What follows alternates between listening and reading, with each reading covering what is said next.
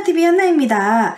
어, 제가 요즘에 좀 한복만 입고 이렇게 유튜브 컨텐츠를 많이 만들어서 오늘은 이렇게 원피스도 좀 입어봤어요. 화사하게. 어, 오늘 여러분들한테 할 이야기는 음, 좀 정보를 같이 좀 공유해보자 이래서 우리가 생활 속에서 몰랐던 일본 제품을 제가 좀 소개해드리려고 합니다.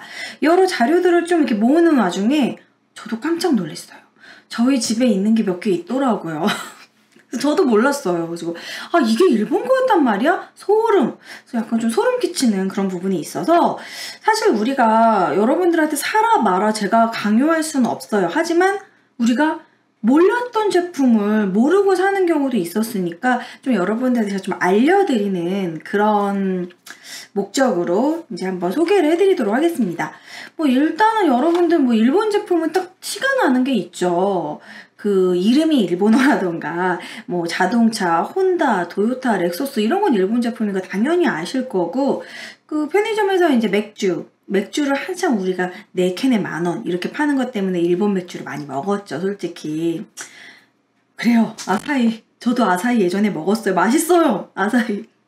근데 저도 안 먹고 있습니다. 아사히, 기린, 이치방 시보리 뭐 이런 거 삿포로 모두 일본 건 건 아실 겁니다. 일본어로 써 있으니까. 그런데요.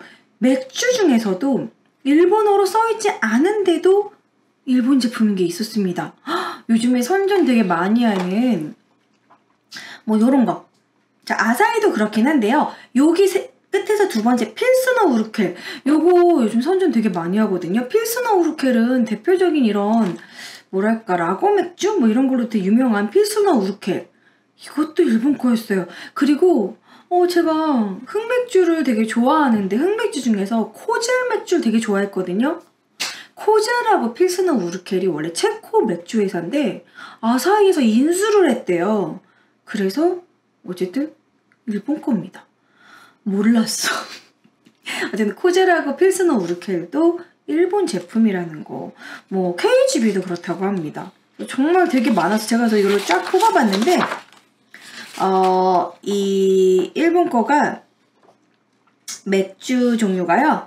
필스너 우르켈 아사히, 아사히 드라이 블랙, 산토리 프리미엄 몰츠, 어, 삿포로 프리미엄, 에비스 프리미엄, 아사히 프라임 리치, 코젤, KGB 맥주 이게 모두 일본 거라고 합니다. 저는 이제 필스너 우르켈하고 코젤에서 깜짝 놀랐어요.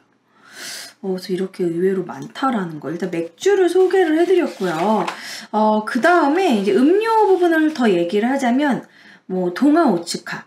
그 동아 제약이 일본과 제약을 많이, 제휴를 많이 했었는데, 제가 예전에 오키나와를 간 적이 있습니다. 그래서 오키나와에서 바카스를 딱 사먹는데 깜짝 놀랐어요. 우리나라랑 바카스 디자인이 똑같아요. 그러니까 일본이 사실 제약회사에서 되게 앞서간 기술이 많습니다. 일본 약이 잘 들어요. 그래요. 저도 카베진 먹었어요. 양배추. 저 위험이 약간 있어서 카베진을 먹고 뭐 소화 안 될 때 카베진 많이 먹었었거든요. 오늘 무슨 고해성사 방송, 고해성사 방송인가요? 저 어쨌든 그랬었는데 지금은 이제 카베진을 사지 않습니다.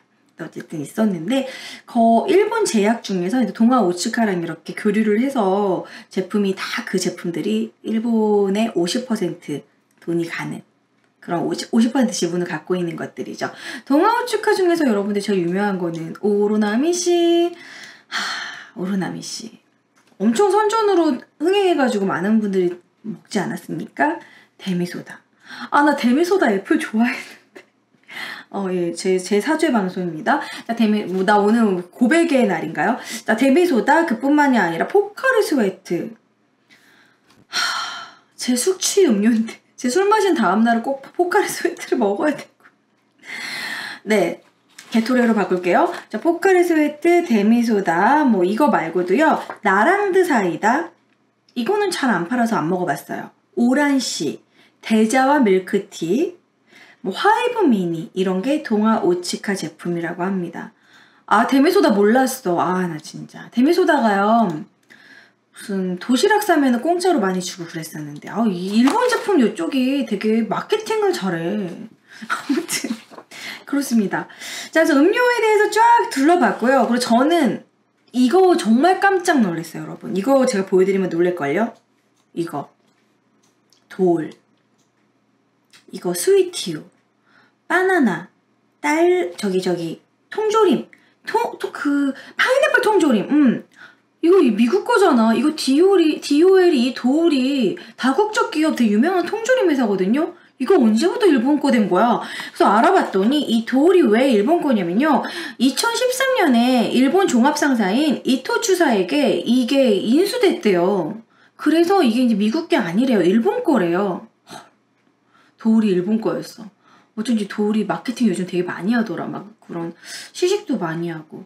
그뿐만이 아니라 이 어, 스미호르사에서 또 이렇게 마트에서 흔히 볼 수 있는 감수강 시리즈. 아, 나 감수강 바나나 많이 먹었는데 여기 이 바나나가 달고 맛있거든요. 아, 감수강도 스미호르사라는 일본 브랜드라고 합니다. 우리 농산물에서도 일본 브랜드가 있었다라는 거야. 아, 감수강. 와, 이름 진짜 토산물처럼 우리나라 것처럼 만들어 놓고 어쨌든 감수광 돌이 일본 브랜드라는 거. 인수했어요. 음. 이 부분에서 되게 깜짝 놀랐고요. 그 다음에 초콜릿. 키캣 이런 것도 그냥 왠지 외국 거잖아요. 그런데 일본에 가면은 키캣이 종류별로 녹차 키캣, 무슨 키캣, 뭐 그런 도쿄 바나나 키캣 되게 많아요. 왜냐하면 키캣 회사가 일본에 있기 때문입니다. 그래서 키캣이요, 음, 네슬레에서 생산하는 이 키캣도 일본의 제조 공장이 되게 많고, 어, 특히 중요한 건 이 키캣의 제조 공장이 일본 후쿠시마에서 멀지 않은 곳에 제조 공장이 있다라는 게 소름 끼치는 사실이라고 합니다. 충격적이죠. 그래서 어린아이들이 많이 먹는 키캣, 지금 후쿠시마 좀 관련 있는 그런 위치의 제조 공장이 있기 때문에 어린아이들에게는 케이크에서 사주시지 않는 것이 좋을 것 같다는 생각이 드네요. 항상 불안한 거는 좀 멀리 해야겠죠? 어, 아무튼 키캣도 저는 되게 의외였고요. 자, 그 다음에 이제 라이온 코리아 이야기를 해보도록 하겠습니다. 하, 이거 솔직히 제 세탁실에 이거 있어요. 아, 비트. 때가 쏙 비트. 이게 왜 일본 거였던 거야? 와, 그, 저는 사실 이 비트가 어디 제품인지 그냥 모르고 아무 생각 없이 샀어요. 비트 드럼용 제가 사용했거든요. 그러니까 제가 주로 세제를 비트 사용하거나 왠지 때가 쏙 빠질 것 같은 느낌이라서 선전에 낚여서 비트 많이 썼었고 그리고 비트 아니면 요즘에 저거 쓰고 있어요. 외국 거. 아, 그 저기 김남주 씨가 선전하는 거. 근데 비트가 지금 있거든요, 하나. 예, 이게 라이온 코리아, 라이온 코리아라고 써도 난 코리아인 줄 알았죠. 외국 건 줄 알았어요. 그냥 저는 유니레버 같은 그런 거. 라이온 코리아가요, 원래 CJ랑 이렇게 CJ 제일제당을 합작을 했던 곳이었는데, 지금은 그냥 일본 법인 라이온 코퍼레이션이 지분 100%를 갖고 있고, 우리가 비트를 사면 일본한테 100% 돈이 들어가는 그런 회사라고 합니다. 그런데 이 라이온 코리아에서 비트 말고도 이거가 제일 놀랐어요. 저는 제가 준비한 거 중에 이게 제일 소름이에요. 저희 집 화장실에 있습니다. 아이 깨끗해. 아이 깨끗해. 이거 막 one plus one 되게 많이 하고 되게 마케팅 막 저기 마트 가면은 맨날 이렇게 많이 팔거든요. 아이 깨끗해 중에서도 약간 베이비 파우더 향이 나는 순이 있어요. 아이, 깨, 아이 깨끗해 순. 그게 제 최애 손 세정제거든요. 아, 아 아이 깨끗해가 왜 일본 거야? 아, 나 진짜 누가 봐도 아이 깨끗해. 우리나라 거 같지 않습니까? 전혀 몰랐어요, 진짜. 아이 깨끗해는 진짜 좀, 지금 배신감이 엄청 들어요. 아, 주방에 하나, 화장실에 하나 있는데. 제가 지금까지 쓰는 것까지만 쓰고. 뭐, 이거, 이거 대체 뭐 해야 되죠? 비누로 손 씻을게요, 그냥. 어쨌든 아이 깨끗해랑 비트, 이 라이온 코리아 제품이라고 합니다. 이게 일본 거라는 거. 여기서 진짜 소름이었고요. 그리고 이제 LG가 유니참 제품하고 같이 LG 유니참이라는 그런 제품이 있어요. 그러니까 LG가 일본 유니참하고 이렇게 같이 어 뭐라고 합작을 한다고 해야 되나? 뭐 라이센스를 빌리든지 합작을 한다든지 뭐 콜라보를 한다든지 이런 게 많은데 이 LG 유니참이 일본에서 이제 수입해서 오는 거기 때문에 LG 유니참 제품 안전하다 이런 식으로 이렇게 LG 쪽에서 이렇게 공고를 올린 게 왜냐면 일본으로부터 수입해서 판매하고 있기 때문입니다. 그래서 LG 유니참 제품 중에서 이것도 제가 사용했던 게 많이 있었어요. 바디피트, LG 유니참 제품이고요. 그리고 아이들 마미포코. 이것도 LG 유니참 제품이었습니다. 우리 마미포코가 좀 저렴하게 파는 기저귀라고 해요. 그리고 그 일본 그 원전 사태 터졌을 때 군 기저귀 군은 군 기저귀에서 누가 봐도 일본 제품이 써 있고 군 기저귀에는 일본 제품이라는 거 많은 엄마들이 알았는데 마미 포코는 아마 모르지 않았을까. 왜냐면 여기 LG 유니참 이게 써 있으니까 아 LG 제품이고 저도 이거 마미 포코 그냥 국산인 줄 알았었어요. 바디피트는 그냥 아무 생각 없이 소피라고 써 있고 그냥 아무 생각 없이 썼어요. 네 LG 유니참 일본 제품입니다. 일본에서 수입하고 있는 제품이라는 거 이것도 진짜 의외였어요. 자, 어쨌든 바디피트 이야기까지 했고요. 그리고 3M에서도 또 벗어날 수 없었습니다. 3M은 워낙 외국 제품으로 유명한데요. 이 3M 제품 중에서도 Made in Japan이라고 쓰여 있는 제, 제품이 되게 많다고 합니다. 3M이 되게 다양해요.